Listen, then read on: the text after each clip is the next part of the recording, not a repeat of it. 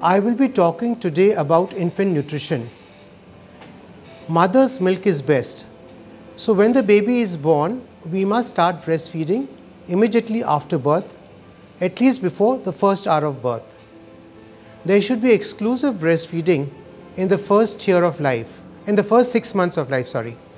And after six months, we start uh, weaning.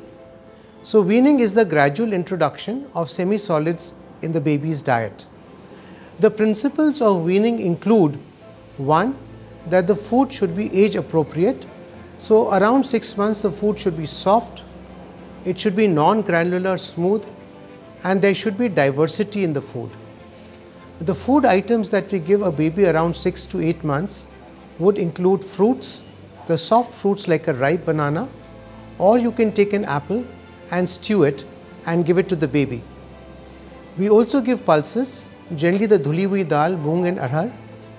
You should give vegetables to the child, both the yellows and the greens.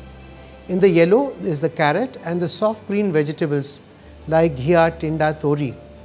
There are three ways you could give the vegetables. Either you could put it in the khichdi or you can uh, boil it or steam it.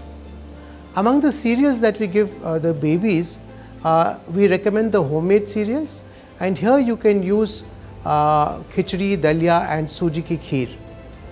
Mother's milk has to be continued beyond 6 months even while you are weaning the baby and cow's milk we introduce after the age of 1 year. Some of the don'ts are we have stopped giving uh, fruit juices to babies because it lacks fiber. Egg is usually introduced at the age of 6 months and you can give nuts in the form of paste, never a whole nut. A water is also introduced after the age of 6 months. The consistency of the food should be slightly thick so that it is caloric dense. There should be variety in the food that means every 10 days try and get a new item. Uh, then there is the rule of 3 days that you try the same food at least for 3 days to check for allergies.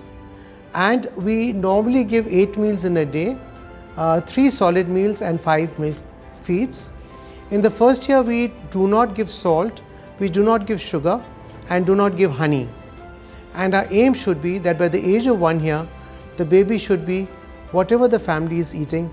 In English, we say the baby should eat from the family pot. Thank you so much for the patient listening.